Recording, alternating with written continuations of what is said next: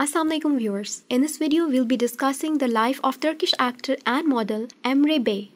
Emre Bey is a famous Turkish actor and model. He is known as Orhan for his role in Kuruluş Osman. He gained popularity in short time by his acting skills. He was born on February 28, 1997 in Istanbul.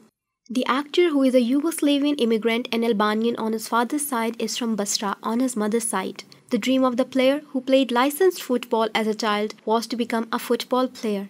The actor who signed up the agency with the guidance of an acquaintance while he was in high school started his acting career from there. Later, he received acting training at the Craft Acting Workshop. He made his TV screen debut in the TV series Aşk Zamanı, which was broadcast on ATV in 2015.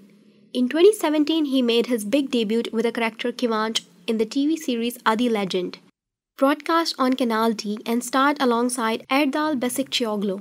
He played the character of Arda on the TV series Elimi Dropma, which started broadcasting on TRT1 in 2018. In the same year, he was studying in the Media Communication Department at university. His recognition increased with the character of Burak in the TV series Sol Yanım, which was broadcast on Star TV between 2020 and 21.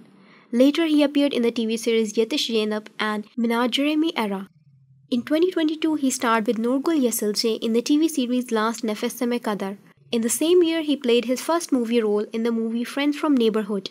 He made his starring debut in the TV series Balkan Ninnisi, which was released in 2022. Later, he played the character of Mehmet in the TV series Berman Seni Alir, which was broadcast on ATV in 2023. If we search about Emre Bey wife, then we come to know that he is not married and not engaged as well. He did not reveal any relationship yet. Thanks for tuning into Biographer. If you liked what you saw, hit that like button and subscribe for more content like this. And we'll see you in the next video. Spread love. Take care.